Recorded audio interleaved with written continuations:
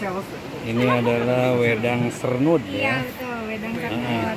nah, ini bahan-bahannya apa nih? Bahan-bahannya ucang, ada daun sirih, ada merica. Kalau kata sini sahang ya, sahang. Ada kapulaga, ada cengkeh, ada serai wangi, ada jahe juga. Nanti bahan-bahannya dicuci bersih, terus jahenya digarang dulu, dipanggang, baru direbus semuanya.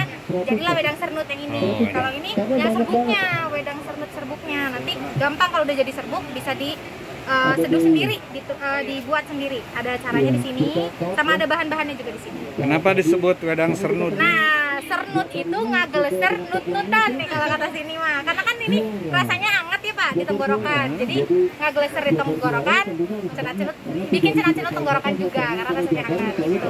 Luar biasa. Ya. Iya, ini produk asli Bantaragung. Asli Bantar Agung ya, enak banget ya. Kita coba ya. Boleh.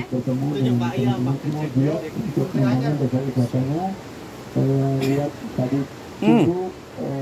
Wow, hangat ya. Enak kan Pak cocok lagi musim hujan gini minum wedang sernut. Ini berapa dijualnya yang ini? Kalau ini 25. 25. Iya. Kalau ini apa nih kopi nih ya? Ini cappuccino tamu namanya. Iya, kopi robusta. Yang ini robustanya, yang ini kopi.